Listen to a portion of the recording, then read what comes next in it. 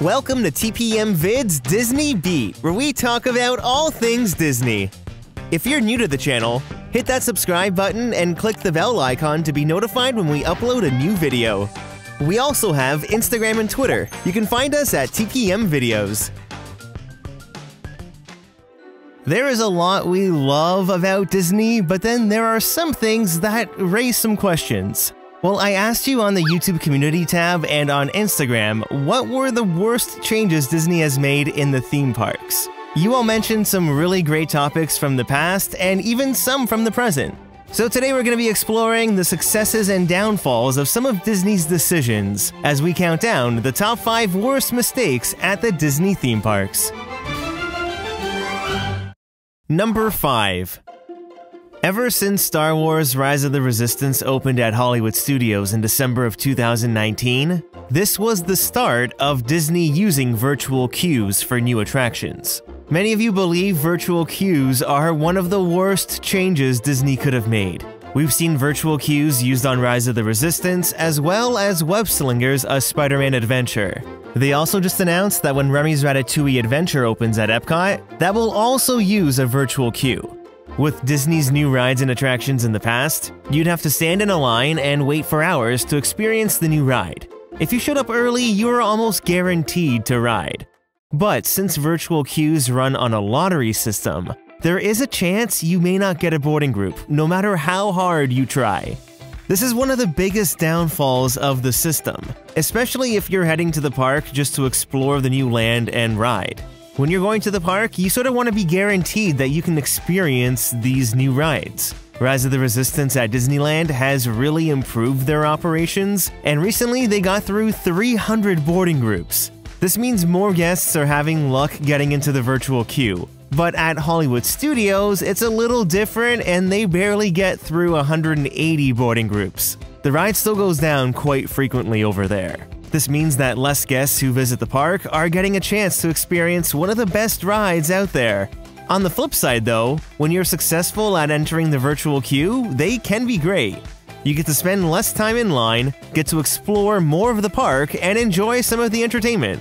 When Rise of the Resistance first opened at Hollywood Studios, this is exactly what I did. But I can see this being a bit different considering the park landscape during the pandemic. Many of the crowd eating shows are not open, and there's just that much less you can do while you wait. If Disney does begin to introduce more virtual queues eliminating standby, this means there will be even more people clogging up the walkways. We may not like waiting in long lines, but frankly, these queue spaces actually help spread out crowds. For virtual queues to really work, they'll need to open more entertainment and build new attractions that can eat up crowds. I know there's gonna be a high demand for Remy's Ratatouille Adventure, but I don't think it should be a virtual queue. Runaway Railway didn't use a virtual queue, and that opening went great. I'd put Remy and Railway in the same category of attraction. They're family rides that help round out the attraction lineup in addition to the major e-tickets at the park. I think in the future we'll see more virtual queues on select attractions, but for it to actually work, they need to be rides that are extremely reliable and offer a high capacity. Maybe Remy's Ratatouille Adventure will be exactly this.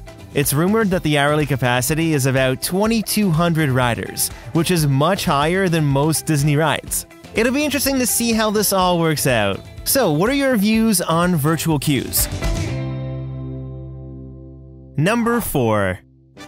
Back in September of 2001, the giant sorcerer hat made its debut at what was then Disney MGM Studios. Many of you said the sorcerer hat was a mistake, but it was for the fact that Disney removed it in 2015, leaving Hollywood Studios without a park icon. So, the Sorcerer Hat made its debut for the 100 Years of Magic celebration, and it was actually supposed to be a temporary structure. At the time, many fans had mixed feelings about the 122 foot blue Sorcerer Hat. The main argument was that it was covering the beautiful Chinese theater and it ruined the overall feel of the area. Hollywood Boulevard was supposed to transport you into the golden age of Hollywood, but the Sorcerer Hat really didn't scream vintage Hollywood. Now, before September of 2001, the park's icon was the Earful Tower, which was part of the now defunct Backlot Tour. The tower was used in all kinds of marketing, but as the 100 Years of Magic celebration unfolded, the Sorcerer's Hat began to take its place and was used more and more in marketing. I mean, in its own right, it was pretty iconic, and it did feel like the park finally had a centerpiece in the same way as the other parks. It was just a shame it had to cover this wonderful piece of architecture. I mean, the park was designed to have the Chinese theater be the weenie, the building that draws you right into the park. Well, once the 100 Years of Magic celebration ended on December 31st, 2002, Walt Disney World was still feeling the effects from 9 11, which greatly impacted travel. Very little money was being spent at the resort during this time, so taking the hat down was not on Disney's priority list. Now, just as travel was beginning to fully recover, we'd find ourselves in the Great Recession from 2007 until 2009. Now there was really no need for Disney to spend the money to remove the hat, but the longer it stayed, the more it was used as the park icon. People got attached to this hat. I mean, I kind of did. Well, in October of 2014, Disney confirmed the Sorcerer Hat would finally be removed. Demolition began in January of 2015 and it was completed by February. Hollywood Studios officially lost the park icon that was used for 14 years. At this point, the park had spent more time with the hat than without it. During its time from 2001 until 2015, a brand new generation of Disney fans emerged who only remembered the park with the Sorcerer's Hat. So this was all a pretty drastic change. Since the Backlot Tour closed in September of 2014, this would mean the Earful Tower's days were numbered. So, Disney began using the Hollywood Tower Hotel as the new park icon. I do personally like the structure as the icon, especially since it's one of the first things you see from the parking lot. But what are your thoughts on losing the giant sorcerer's hat? Number 3. Staying at Hollywood Studios, another one of the worst mistakes you all said was Disney closing the Great Movie Ride. I used to love the Great Movie Ride, and I have so many fond memories of riding it as a kid. The attraction opened in May of 1989 and was one of the two original rides that opened with the park. With a ride time of approximately 22 minutes, the Great Movie Ride took riders through iconic scenes from 12 classic films in motion picture history. At the D23 Expo in 2017, it was announced that the Great Movie Ride would close on August 13, 2017. This was to make way for what we now know as Mickey and Minnie's Runaway Railway. Now, I love the ride. I think Runaway Railway is a fantastic Disney dark ride that highlights a lot of the new technology, and it's really fun to top it all off. At the time, though, in 2017, before the Great Movie Ride closed, the park only had four other rides, that being Toy Story Mania, Tower of Terror, Rock and Roller Coaster, and Star Tours. So closing one of the five rides in a park that lacks rides isn't the smartest idea. Sure, there were shows, but there needs to be a good selection of rides. Disney could have easily kept the Great Movie Ride open, and they could have built Mickey and Minnie's Runaway Railway in Star Wars Launch Bay. Mickey Mouse would have been a perfect fit for Animation Courtyard, and keeping the Great Movie Ride open could have also helped absorb some of the crowds during construction. I do have to mention though that the Great Movie Ride was starting to show its age. It was at a point where a substantial chunk of money was needed to refurbish it. So no matter what, the ride would have needed some work, but at least there would have been an additional ride in the park instead of a replacement. With the purchase of Fox, this would have been a great opportunity to update the ride and include other IPs Disney now own themselves. I really do love Mickey and Minnie's Runaway Railway, but I still think the location is a bit out of place. Placing the ride in Animation Courtyard would have made the area thematically complete with Voyage of the Little Mermaid and Disney Junior. I mean, I think Disney could have done so much with the Great Movie Ride considering how many IPs they now own. Which actually brings us into number 2. A lot of you said forcing more intellectual properties, or IPs for short, into the parks is one of the worst things Disney has done. Now, let me start off by saying the idea of IPs have been around since the early days of Disneyland. Walt loved creating synergy between his film and TV endeavors with the theme park attractions. The Submarine Voyage, The Swiss Family Treehouse, Casey Jr. Circus Train, Peter Pan's Flight, Davy Crockett Canoes, plus so much more were all based on existing IPs. Even in the 90s, during the Disney Renaissance era, we saw many of these IPs quickly introduced into the theme parks. Aladdin's Royal Caravan, Legend of the Lion King, Beauty and the Beast live on stage, and Tarzan Rocks all opened within the first couple months of their film's release.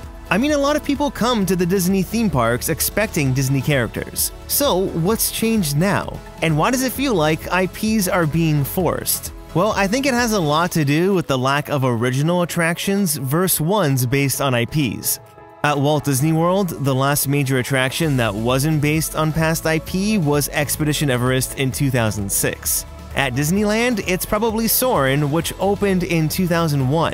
So, quite some time has passed since more original stories like Big Thunder Mountain, Pirates of the Caribbean, and Spaceship Earth were introduced. Major additions from the past decade include Galaxy's Edge, Toy Story Land, Cars Land, and Pandora, which are all based on IPs. Now, these are some of the most immersive lands when it comes to theme parks, and each of them have some really fantastic, state of the art attractions. So, the real problem I think some people have with IP is when they are placed into areas that aren't necessarily a fantasy world. A prime example is World Showcase at Epcot. IP integration really started with the introduction of the Three Caballeros in the Mexico boat ride in 2007, then with Maelstrom transforming into Frozen Ever After in 2016. There are a lot of people who dislike Frozen Ever After just because it replaced Maelstrom, but I gotta say, I really do like the ride. You could argue that Maelstrom was a classic in its own right, but Frozen Ever After is classic traditional Disney a water-based dark ride with some impressive animatronics and catchy music. I mean, sign me up. Anytime I've been to the park, the Frozen Ever After line has always been longer than any Maelstrom line I've seen. So IP is popular. At Walt Disney World, Epcot is the park with the least IPs, but now, almost all the new additions that have been announced involve IP, like Guardians of the Galaxy, Remy's Ratatouille Adventure, and even Harmonious. I personally don't think this is bad, especially since it has and will bring more people into Epcot who probably would have never experienced the park in the first place. Epcot is definitely evolving and changing with the times, but there is still a lot of original IP at the park. I mean, as long as these new projects are executed with high standards and deliver an entertaining experience, I'm really excited for all of it. I can't wait till the Epcot transformation is fully complete. Number 1 to this day, people still talk about Push the Talking Trash Can, and I was really surprised at how him getting removed from the park was mentioned so many times. So Push was a radio-controlled trash can that made daily appearances in Tomorrowland. He moved freely and interacted with guests. He was actually quite the character. It's like I'm made of steel. Camera. Zoom in, zoom out, zoom in, and now I'll mess with your autofocus. Not only was he interactive, but Push was also an actual trash can. He became a staple of Tomorrowland at Magic Kingdom, and guests adored him. This was the kind of thing that brought the Disney magic to life. I loved running into Push. In February of 2014, Disney announced they would be saying goodbye to Push for good, and fans took to social media using the hashtag SavePush and Bring Back Push. According to a New York Daily News article, there was some ambiguity to the verbiage as to what Disney owned and what the creator of Push owned. So both parties decided to end the contract. One of the worst things Disney can do is cut back on live entertainment, which is why losing something like Push, Muppet Mobile Lab, Red Car Newspaper Boys, or Captain Jack Sparrow's Pirate Tutorial are such big blows. I mean, it's ironic that an entertainment company seems to be okay with cutting entertainment.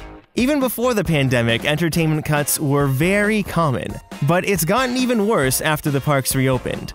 A lot of entertainment is still missing, and who knows if they'll actually bring it back. I love rides and attractions, but for me, live entertainment is such a big part of visiting the Disney theme parks. It completes the entire theme park experience.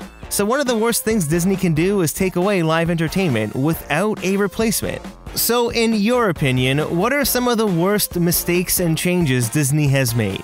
I'd love to know. Leave a comment down below to start a conversation, and don't forget to hit that like button if you enjoyed the video.